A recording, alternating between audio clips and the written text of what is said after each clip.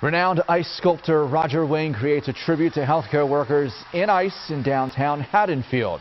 The artist live carved two sculptures today at Kings Court to the delight of many spectators and with the backdrop of, of some perfect chilly weather.